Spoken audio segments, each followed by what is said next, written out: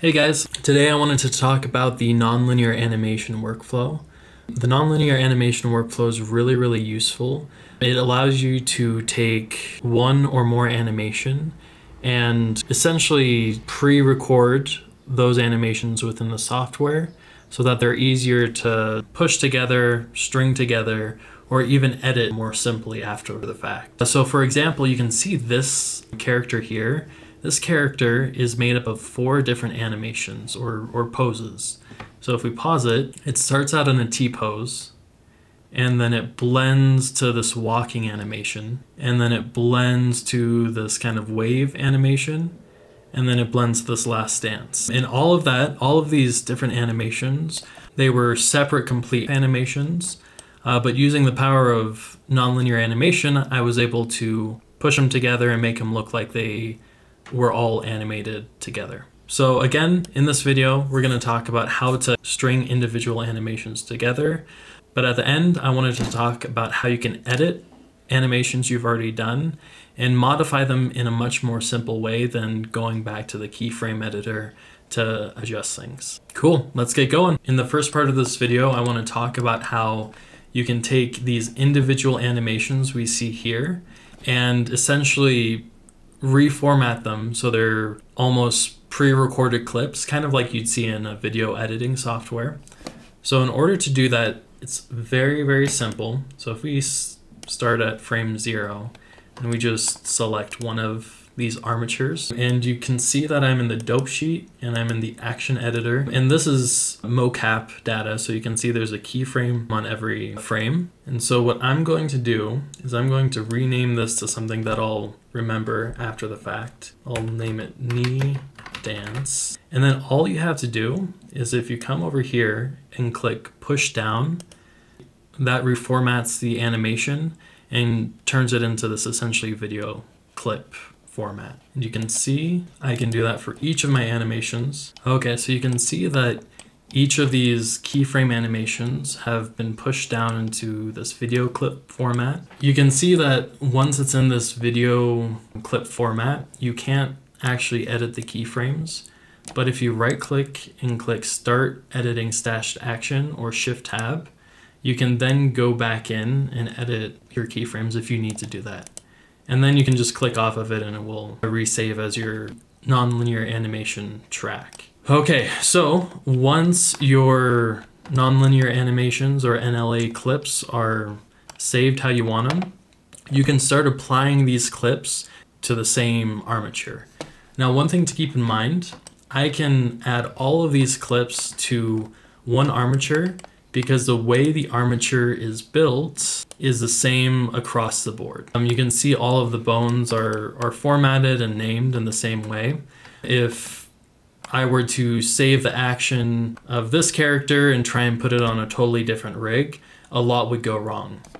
And so what I often do is I use Mixamo to at least rig my characters, and whether or not I use mocap data or not, having the consistency of a Mixamo rig allows me to move animations across a wide spectrum of characters because they're all using the same master rig. Okay, so once you have all of these NLA clips, you only need one armature. So I have one saved over here. This character is just standing in the T-pose, and you can see the T-pose track is already put on.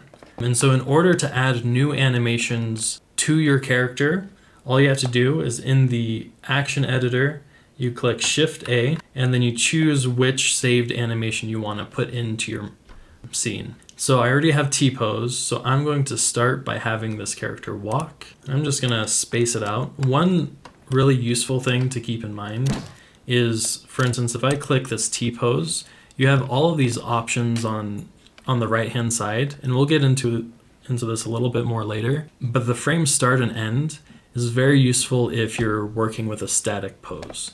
So if I extend our end frame, then you can see our character. Our character stays in the T pose for 33 frames instead of the, the two frames before. Um, now you can see when I add our walk animation on top of our T pose, that the pose automatically kind of sticks with the beginning of the walk until we get into this animation bar. The reason that is, is because in the extrapolation tab and the blending tab, it's causing a hierarchy issue to happen. So we have our walk animation on top. And so basically what Blender is saying is we're not going to even acknowledge anything below the walk animation and we'll start playing the walk animation as soon as we hit this bar on the timeline. So in order to get past that, you go to the extrapolation tab and you click nothing. So you can see we're gonna stick on our T-pose until we get to our walk animation and then it snaps into our walk animation. And we don't really want that.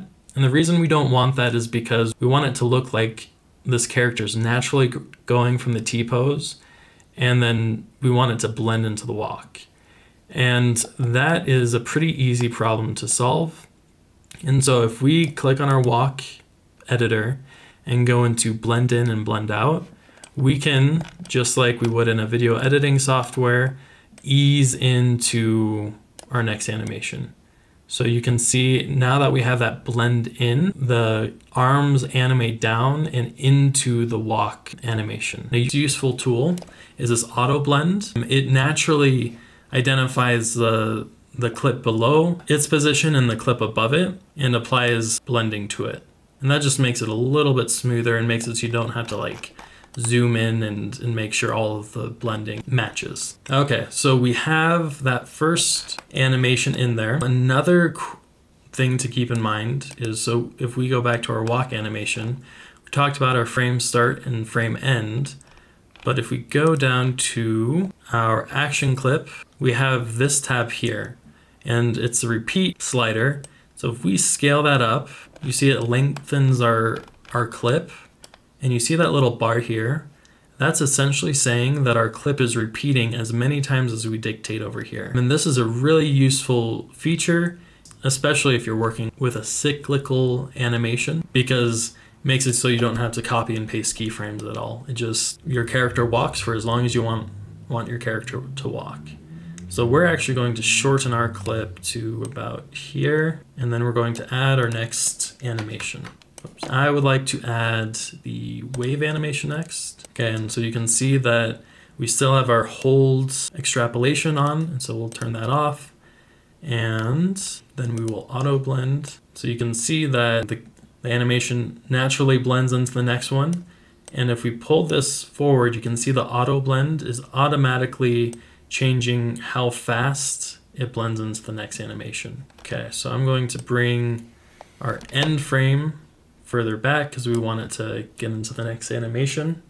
So if we go to knee dance, bring the end frame closer here, change this to nothing, and at auto blend, that should be good. So now you can see we have four animations or poses, and they're blending pretty seamlessly between the two. So another thing I wanted to talk about is how to use nonlinear animation in order to edit animation that already exists. So you can see if we go into this animation, this is the case especially with motion capture data, because you can see motion capture data puts a keyframe on every frame. So if I wanted to actually have my character's head up at this point, you can see, okay, it's up for a frame, but then it snaps right back down. You can combat that problem pretty simply with nonlinear animation. So if we come out of here and go over to this collection here, I just have my walking animation. So I have my character looking forward and just walking casually. Now, what would I do, or what could I do if I wanted my character to, to look around? I think you already know the answer, nonlinear animation.